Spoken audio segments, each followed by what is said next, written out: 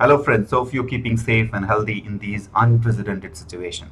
My name is Sunil Sharma and I'm recording this message in the capacity of Chair of IAI Virtual Actuarial Conclave 2021 Organizing Group. I'm President, Chief Risk Officer and Chief Actuary at Kotak Life and immediate past President of the Institute of Actuaries of India. Well, IAI is a statutory body enacted by Act of Parliament and is responsible for developing and regulating actuarial profession in India.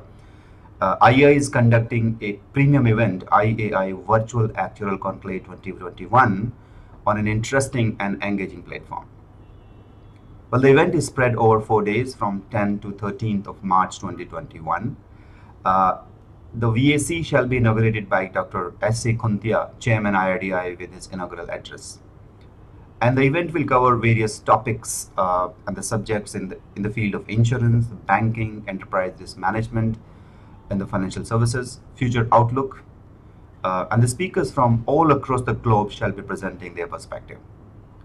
There's going to be a special session on the government actuarial department and student session by the veterans in the actuarial actuarial fraternity, which will benefit uh, the, the, the professionals in, in the financial services.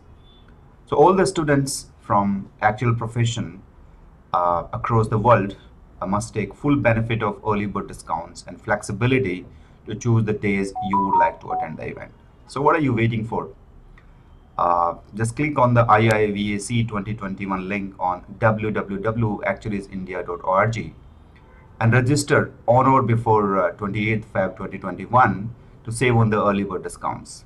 I look forward to see you in the premier and the most useful event of the year IAI VAC 2021. Wish you and your family a happy and healthy year ahead. Uh, thank you for watching.